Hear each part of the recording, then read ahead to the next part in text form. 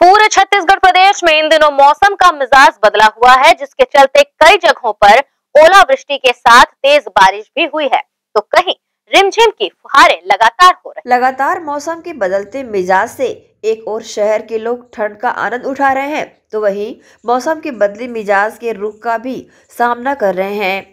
दुर्ग शहर में बीती रात से ही रिमझिम बारिश की फुहार बह रही है, जिसके चलते सामान्य जनजीवन अस्त व्यस्त नज़र आ रहा है। सड़कें सुनी होने के साथ ही मार्केट एरिया और व्यापार भी धीमी गति से चल रहे हैं।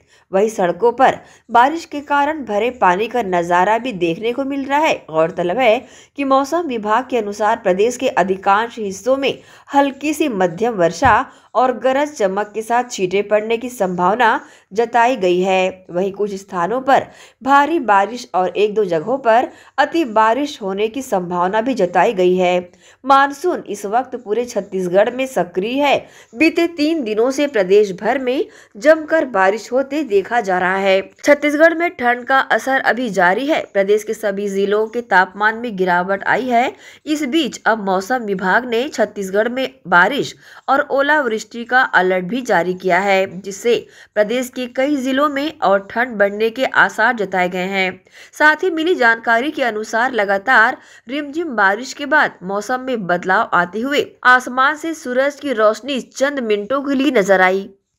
ग्रैंड एशियन न्यूज़ के लिए दुर्ग से नसीम फारूकी की रिपोर्ट।